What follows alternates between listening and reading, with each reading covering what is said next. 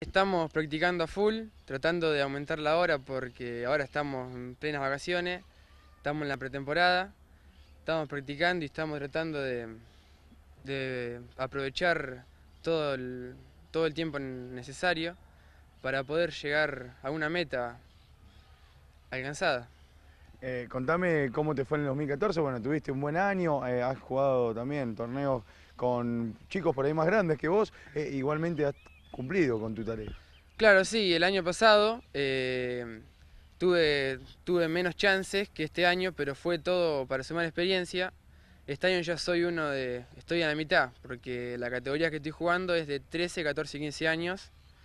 Y yo, mi meta es tratar de en el 2016, que soy uno de los más grandes, poder estar entre la punta.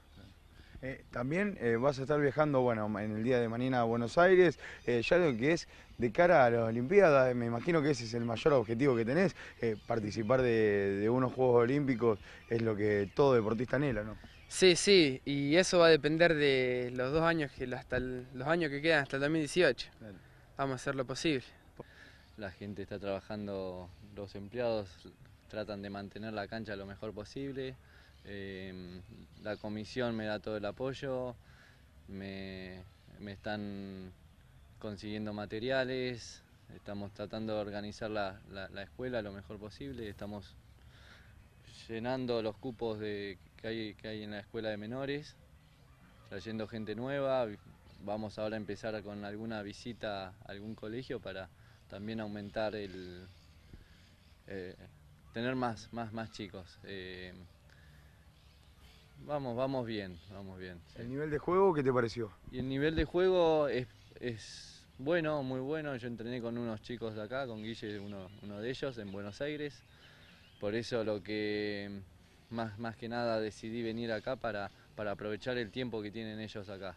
Allá en Buenos Aires es, distinto porque trabajan, van al colegio mucho más tiempo y entrenan pocas horas. Hay buen nivel de entrenadores, pero poca cantidad de horas, acá tienen muchas horas y, lo que quiero es aprovechar esa cantidad de horas que, los chicos están en el club. ¿Cómo lo ves a Juan Ignacio y bueno, también a Guillermo para, lo que va a ser este año 2015, un año muy competitivo para ellos? También, a, bueno, Juan y estuve muy poco con él, empecé hace, hace poquito, em, lo veo bien, vamos a trabajar juntos, eh, vamos a ir sumando tiempo, formas de entrenamiento y bueno, a Guille que lo, conozco más, entreno hace más tiempo, lo veo bien. Em, no apuntamos nada a este año, si, buscamos 2018, todo va en base a eso, a, las Olimpiadas. Em, y, al nacional del, a los nacionales del año que viene. O sea, él, este año Sumar experiencia. Meter algún buen resultado. Vamos a tratar de aprovechar lo que es Junín, que eh, Guille, si bien no, es de, Junín, siento que somos más locales en lo que son las, fechas de, los nacionales, así que tratar de aprovechar eh, Junín, que la conoce, eh, armarnos y prepararnos bien para Junín, que vamos a tener también unos tres meses de, trabajo, así que aprovechar, aprovechar ese tiempo.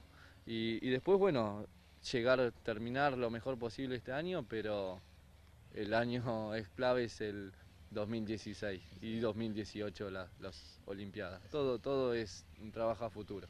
El sábado 21 de febrero vamos a hacer un, campamento donde voy a, voy a hacer una clínica de cómo, cómo mis métodos de, trabajar, donde van a venir chicos de, todos de alrededor de Chacabuco, así que toda la gente que quiera participar del, campamento puede, puede hacerlo.